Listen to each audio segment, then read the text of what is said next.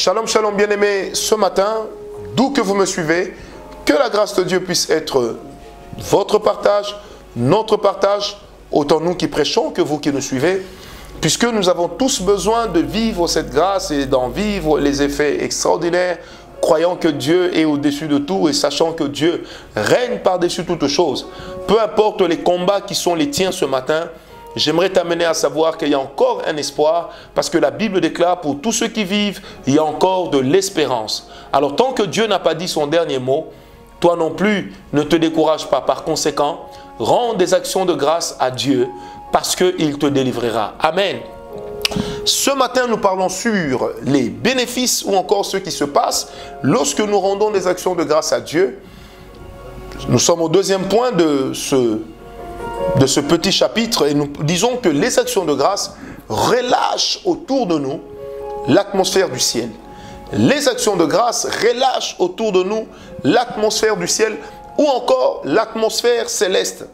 Alors quand nous parlons de l'atmosphère céleste, c'est différent de la présence de Dieu parce que dans la présence de Dieu, nous avons Dieu qui est présent en nous, qui travaille avec nous, qui travaille dans nos cœurs. Aujourd'hui, avec l'atmosphère céleste, c'est que non seulement Dieu est là, mais tous les composants de son royaume sont réunis. Les anges, les archanges, et, tout ce monde est réuni. C'est comme ça que Gabriel, dont le nom signifie El Gibor, pouvait par exemple dire ceci, que là où l'Éternel se tient présent, moi je me tiens présent. Alors dans l'atmosphère du ciel, c'est que Dieu est là, présent, avec son gouvernement. Dieu est là, présent avec toute sa cohorte qui le loue, toute sa cohorte qui l'élève, qui le glorifie. Bien-aimés, lorsque nous apportons nos actions de grâce à Dieu, nous avons une atmosphère du ciel qui est libérée parmi nous. Apocalypse 11, versets 16 à 17. Lisez avec moi. Et les 24 vieillards qui étaient assis devant Dieu sur leur trône se prosternèrent sur leur face. Et ils adorèrent Dieu en disant, nous te rendons grâce Seigneur Dieu Tout-Puissant, qui est et qui était, de ce que tu as saisi ta grande puissance et pris possession de ton règne. et pris possession de ton règne. Dans l'atmosphère du ciel, le règne de Dieu est. Par nos actions de grâce, le règne de Dieu s'établit. Par nos actions de grâce, le règne de Dieu demeure. Bien-aimés, avec le Seigneur, nous ne sommes pas dans une monarchie parlementaire, mais nous sommes dans une monarchie absolue, où le roi règne, il domine.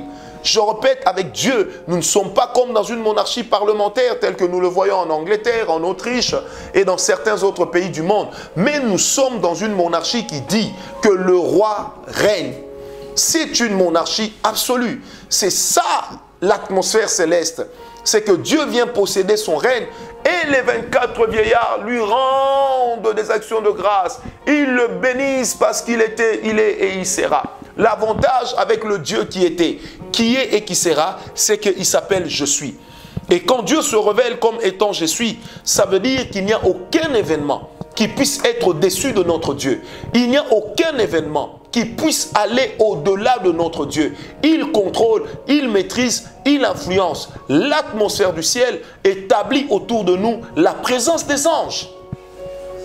Quand nous sommes dans l'atmosphère du ciel, les anges sont là. Ils montent, ils descendent. Nous sommes comme sur la montagne avec Jacob, où nous voyons les anges monter et descendre parce qu'ils servent Dieu avec nous. Ils deviennent nos compagnons. Bien-aimés, l'atmosphère céleste, c'est là-dedans que des gens comme Daniel ont reçu des visitations extraordinaires, que des gens comme l'apôtre Jean ont reçu des visitations extraordinaires, que des gens comme l'apôtre Paul a été enlevé au ciel. C'est dans le climat de l'atmosphère du ciel qui est en réalité un climat de louange, un climat d'action de grâce.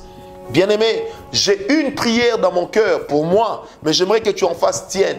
Que Dieu fasse avec moi quelque chose qui amènera le ciel dans ma maison, qui amènera le ciel dans mon cœur, qui amènera le ciel dans ma vie. Oh, je n'ai pas besoin d'un ciel lointain, mais j'ai besoin d'un ciel qui est proche, d'un ciel que je peux palper. Bien-aimé, c'est pourquoi je voudrais dire à une personne, moi je crois tellement que Dieu soit capable de faire ces choses, que toi et moi, associons-nous pour dire, Seigneur, fais avec nous ce que tu n'as pas encore fait.